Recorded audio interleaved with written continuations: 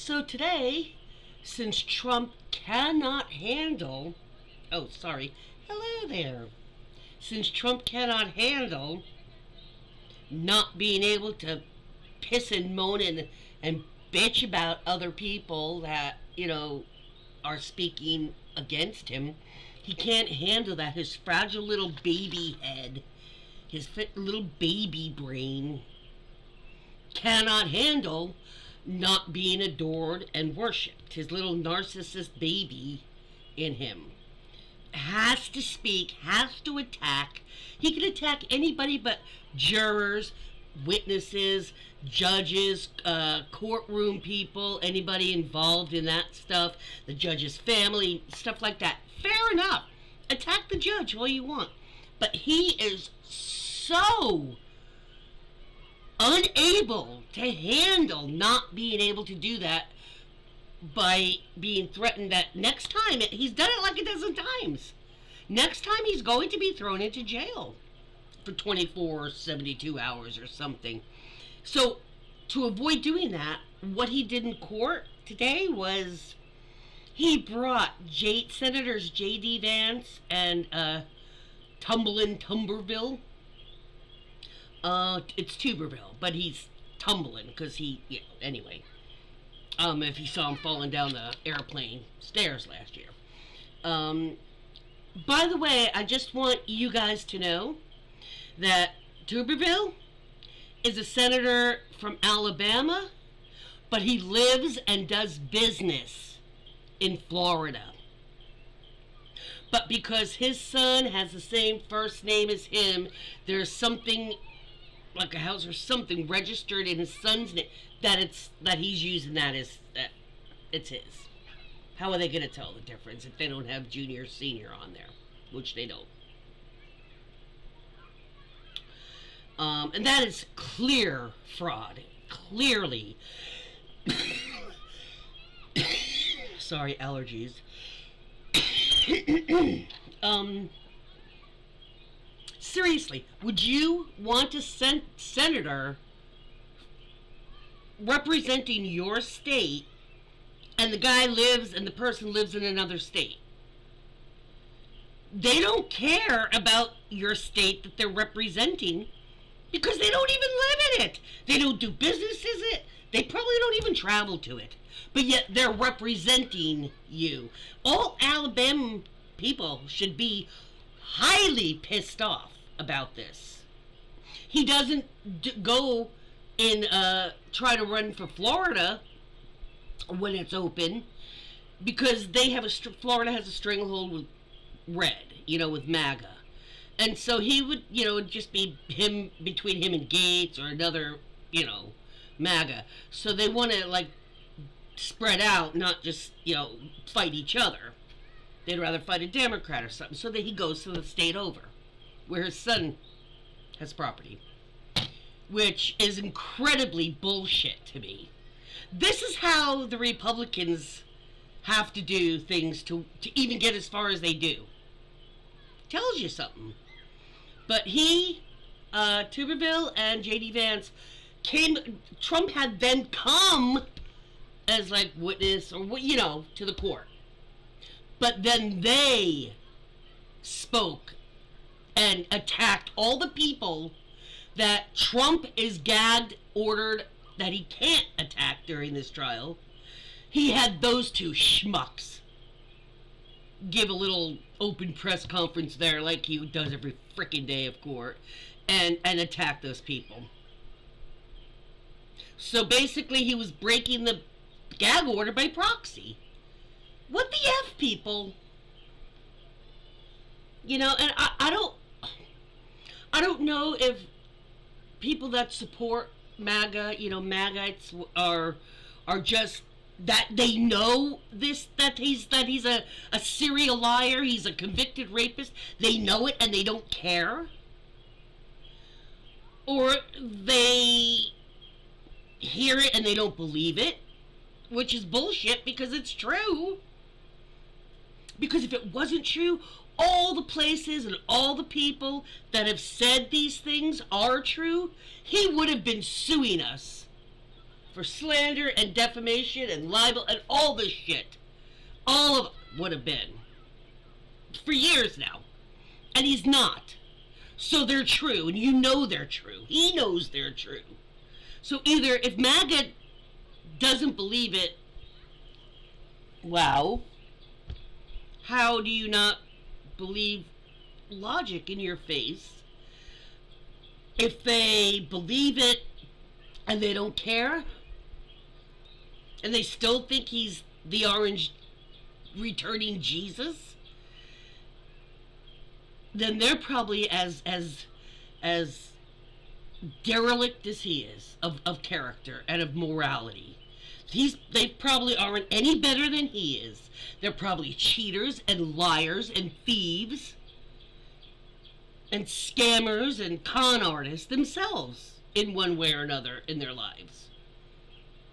They're unfaithful, you know, they're racist, they're bigots, you know, because those are the only kind of people that would, like, lay their life down for this schmuck.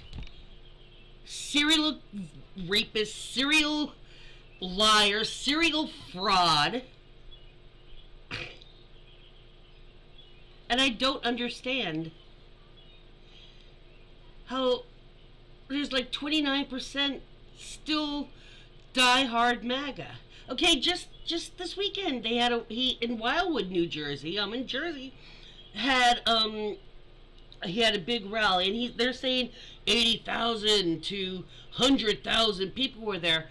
Dude, they had a space set out that held 20,000 people. It wasn't even half full. They didn't even have 10,000 people there, maybe. And they're all saying, oh, 80,000, 100,000. Liars. Liars. Liars. Down straight up. Hello, Mr. Raspy Pants. Did you have a good nappy? Oh, excuse a good late afternoon nappy? Love you, Rappy. He just got up from his late afternoon nap. Yeah, you're gonna be uh, looking for. He if he puts his his I was gonna say his hands, his front feet on the back of my chair, he wants food. But I filled it up. Oh, he's going over to the. He's looking outside, waiting for the birds and the squirrels, but kids and stuff. It's what time is it? Seven. So it's like after dinner. Kids are. It's actually nice weather, and when it's nice weather, especially like starting in the spring, all through the summer, I'm right across from the complex playground. My entire every window of my apartment faces the playground, and so especially like when the kids are out of school. They're not out of school yet, but especially when it's nice weather like this and it's not cold, they'll be out there till after dark because we have a lot of uh, Indian people in the complex, and they like to use like at night when they're there to like because there's lights all over the place so it's not like it's dark. And what happens is all the kids are in the playground using all the different stuff. And i mean they got a little basketball thing some seesaws some swings a slide i mean seriously. And then there's the courtyards too right that are all grassy. So what happens is they use it like a socialized time for for the parents. And it's also I've noticed it's divided, it's it's divided like men and women. Like sometimes, some nights it'll be all the women out with the kids, and they're all on the outside of the of the fenced-in playground, you know, talking to each other in groups and walking around for exercise or whatever, around and around. And the men are who knows somebody's houses or whatever, doing whatever. Or sometimes it's the men out and it's the women that are maybe walking just they're doing getting you know talking to themselves. Occasionally you do see there's nights where it's like 10 o'clock it's well past dusk. And there were some nights 10 10 o'clock was the last person because kids don't have to get up for school and if the parents are off or something you know. But and those nights in the summer that's when the kids are out of school and those nights they'll have, I mean, they'll have the men and the women, the moms and the dads out. but they still like group out male female. It's interesting to watch dynamics of another culture. So I've been here two and a half years, coming up on three years in September, the end of August. So um, yeah, it's interesting to uh, to just kind of observe.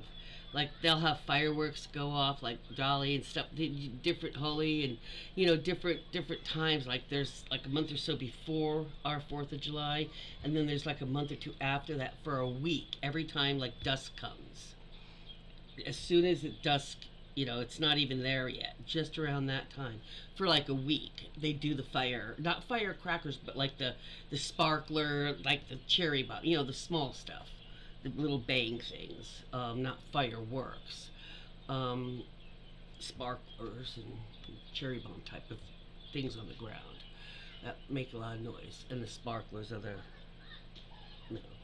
So, it is interesting to see. Um, I mean, we've got I see other white people, I see black people, I've seen some Asian uh, couples, families. Uh, but it does seem, at least this my part, it's in four phases. It's a very huge complex. But my part does seem to have a lot of uh, Indian families. So I always like to learn about, you know, observe, learn about different cultures, different religions, just you know, just see what makes people tick. I've been like that for decades. Decades. like two, three, four decades, you know. Oh, my raspy and smudgy are both looking out to right now. That's because all the I was started to talk about this because all the I'm starting to hear like some kids and some moms are already been out there a year about an hour ago, but then they left. Probably went in for dinner and they're going to start coming back out again. And I do have to go out and look at my seedlings um, before it gets dark, see if they need anything. But yeah, um, just wanted to let y'all know in case things are not, you know, being known to you. This is what's happening with Donald Donald Trump and the um and his the particular trial he's in now with the hush money stuff. Um, and he does this, he's just more and more panicked, which means they're finding all his lies. They're, they're finding and proving all his lies. It's all coming out. He knows, even though there's no cameras, you know, in there's no, you know, feed. He just still knows what's gonna, what was said and stuff was going to be you know, told nationally. So, um, he's panicking. He knows he's screwed. He cannot he cannot cover hide people are are no they're not doing it anymore so you know if you hear any of that shit it's a crock of crap okay he's panicking he's just using other people the only reason those two people were there, it wasn't because they were standing up for him, J.D. Vance and and um, Doofus, Tom Tuberville. Um, they weren't standing up for him. They're kissing his ass. He's he asked for help because he can't do it by himself anymore. He's weak. And now the people that made him look strong have said they they're enough. He's screwed them so hard for so long that they're all talking. They're all telling the truth now. And he's screwed and he's freaking out and he's scared and don't believe anything else that's being said. Because a lot of these like news ma- mainstream stuff there's quite a few of them that the business is to make Trump and MAGA look like the moral road and the leftists, the criminal leftists, you know, the Democrats are are the the manic, you know, off center, out of control, you know, freaks. Uh, and it's it's so obvious. Let me just tell you, this there's some secrets that people have learned and family have told about Donald over these years since 2015. uh, when he stuck his big stupid nose, hello Raspy, back up to Smudgy, into the political scene.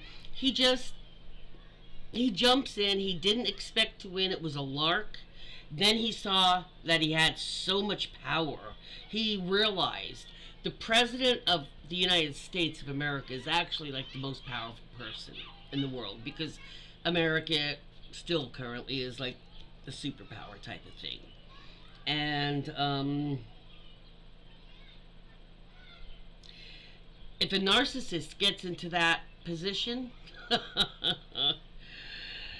oh, it can be seriously dangerous. I mean, we if if the presidency lasted more than four years, I don't know. We might not have we might not have managed it. If he had been given a few more years in power, he could have refined the system. The people that were still covering for him, like Cohen and stuff, would have refined it so well that you know it wouldn't have fallen apart for him and he would have become a dictator. He would have just stopped elections. Um, a few more years, he would have gotten there. But thank God the terms are only four years. Hello. He's bumping my head like a bull shark or a gray or a great white does. He does his little bump eyes. bump. Kind of move around. Bump you again. You going to attack me on the third bumps? Huh? He's gonna tap me with his claw since he doesn't have the teeth like the shark. The claw works better. It's sharper. Anyway, um, yeah. So, don't believe any of that crap. And if you haven't heard any of that crap, I'm telling you right now what's happening. So, also pay attention, please. I haven't heard another thing. Grindavik, I don't know if you know, but since May 16th, all the erupting, all the magma, all the lava, all of that's going. I mean, the blue resort there in Iceland. Now we've got um, Campe Fregi, Fregre. It's it's a volcano. It's not Vesuvius. It's like Vesuvius is, is here and in, on Italy and yeah, Campe. But that sucker, it's getting ready to pop. It's getting it's past due to pop and it is getting ready to pop. It's about what 300 miles Italy from from Iceland from Grindavik to there, and that's been probably setting that off. So I'm not, I'm not hearing about it. I find it on YouTube here. Um, on the Pulse, I, th I think it's called On the Pulse with Silky. Um, she's been covering this and another geolo geographical things, earthquakes and um, volcanoes and things like that. But, you know, remember, currently we're in a, a, a major solar flare cycle.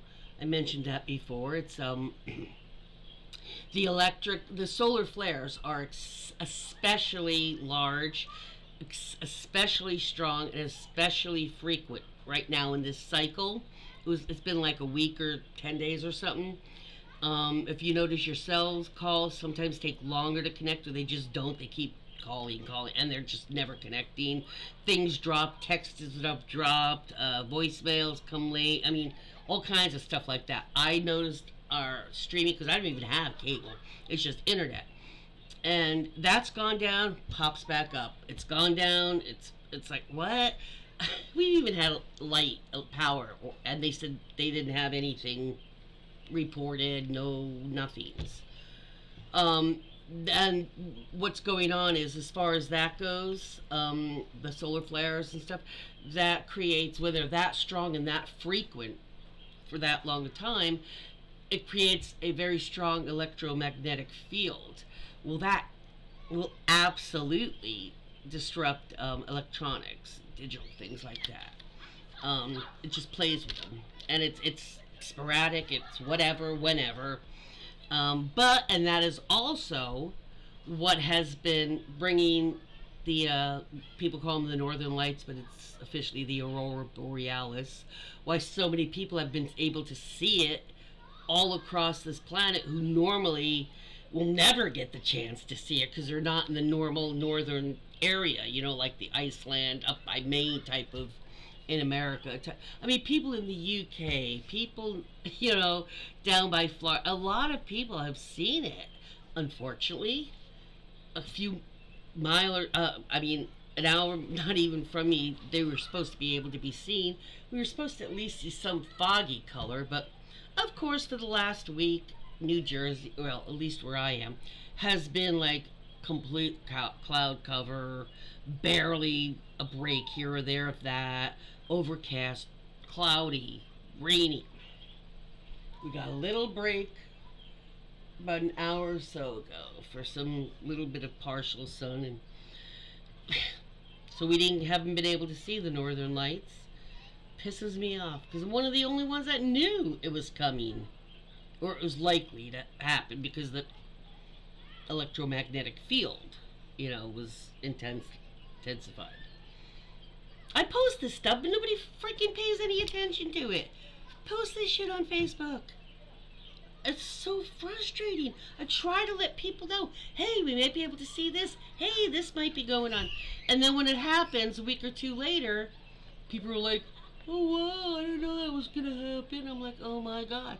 If you would look and read some of my posts every now and then instead of just pretty pictures or a title, maybe you would have known. Maybe you could have prepared. Ugh, it drives me nuts people's like, wow, I didn't know. I'm like, um, oh, yes. I know about mainstream TV, you know, news, but damn, don't you like check on current events shit?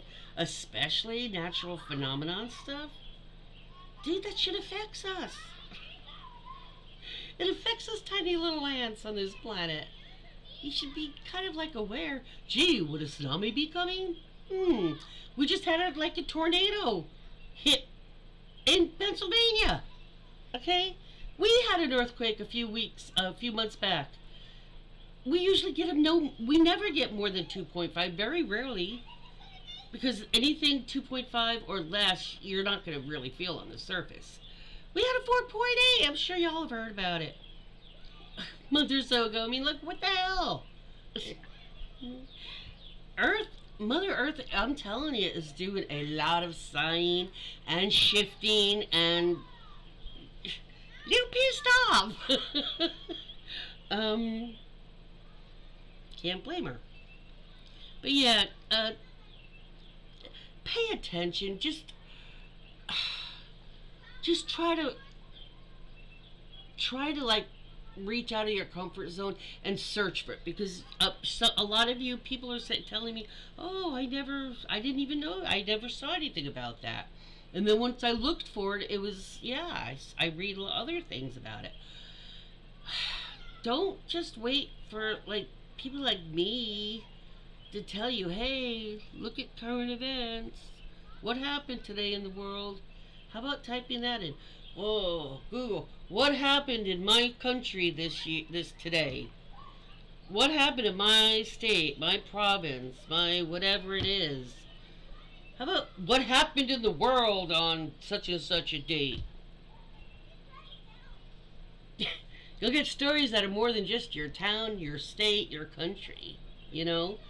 And like, that, let's put it this way, if, if that if that Italian volcano pops, like it looks pretty likely, that's a lot of problems. And Grindavik and Iceland and shit, they're not safe either at this moment.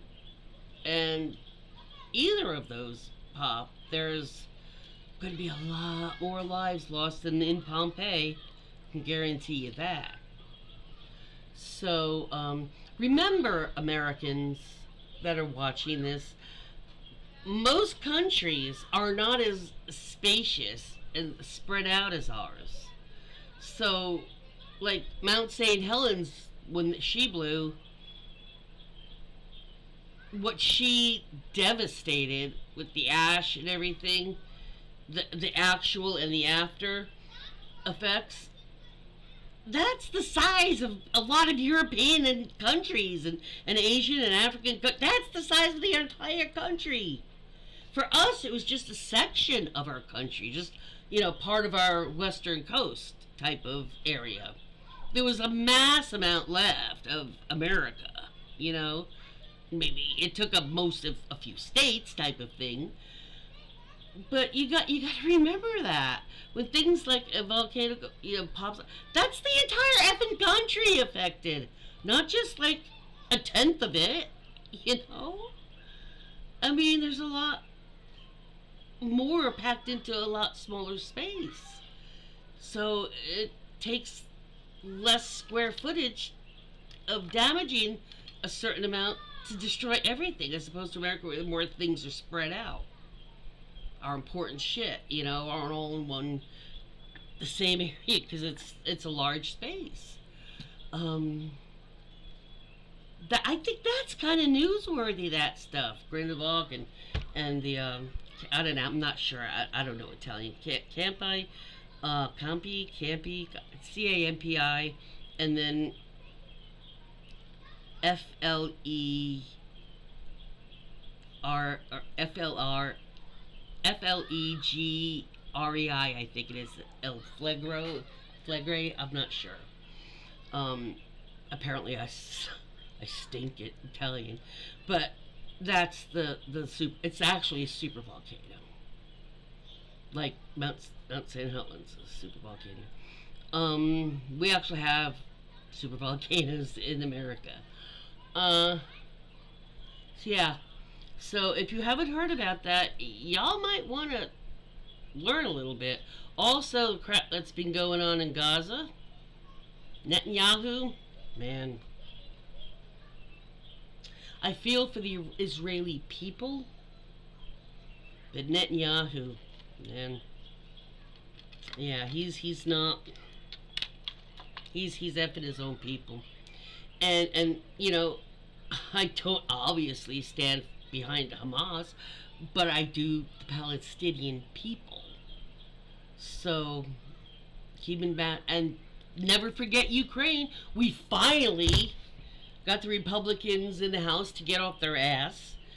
And Mac, Mike Johnson said, screw you, MAGA, I, I have to do this. And he went ahead and the bill went through finally, so they should be, if they haven't already started getting some help, Ukraine. But remember, there's that going on too. But then again, we might just have all volcanoes and and and electric electromagnetic storms and earthquakes that just take care of the problem anyway by themselves. So on that happy note, what a lovely note I've left you on. Uh-oh.